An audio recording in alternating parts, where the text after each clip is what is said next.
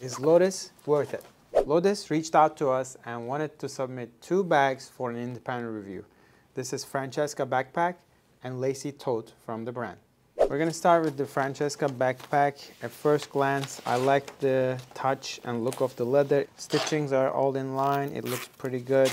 Accessories has a nice brushed gold um, finish. Moving on to the lacy tote, leather has a nice touch and feel to it. It's a pretty standard pebbled embossed leather. The fabric looks cheap, just like the other one. Accessories are looking pretty good. The edge paints are okay. After opening these two bags from Lodis, I really like their leather selections. They're minimally and tastefully finished leathers. Materials, leather, craftsmanship is really, really well done and the pricing is incredible. In my opinion, this is a great value if you're looking for a good real leather bag.